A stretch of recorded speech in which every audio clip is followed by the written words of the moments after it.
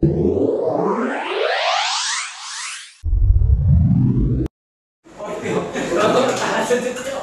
ได้แต่กาแฟครับ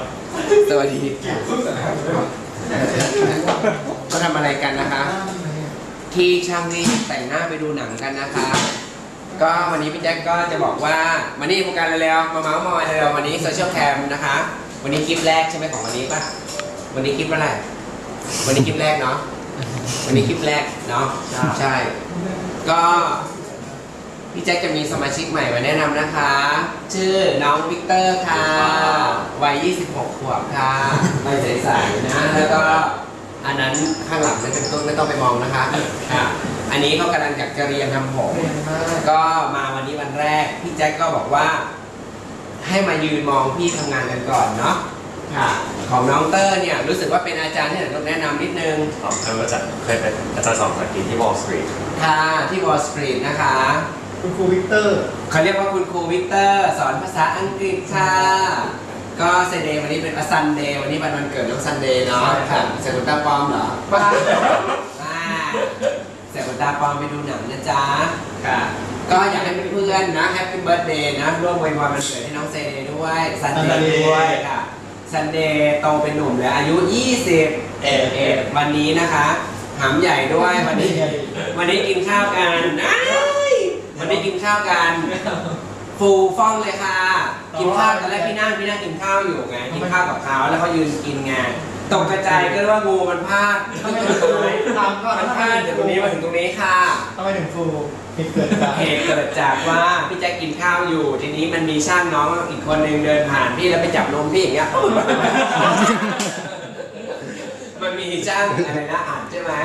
อัดมันมานี่เลยอันนี้มานี่มาจับโชว์แล้วมานี่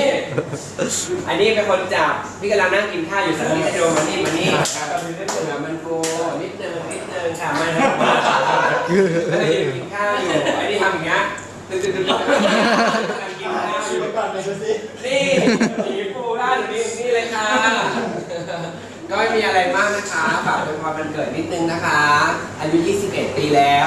คัดเลือกทหารเมื่อเดือนเมษาที่ผ่านมา ไม่ได้ได้ใบดำนะคะ ไม่ได้หนีทหารนะคะ ก็ตอนนี้แม่เขาเป็นช่างทำผมอยู่ที่พัทยาใต้หรือกลางกลาง แม่เป็นช่างทำผมพัทยากลางนะคะ ก็มีอาชีพทำผมก็น้องๆก็ช่วยอยู่แล้ว ก็ทีนี้มาถึงที่เออมาที่กรุงเทพก็อยากจะ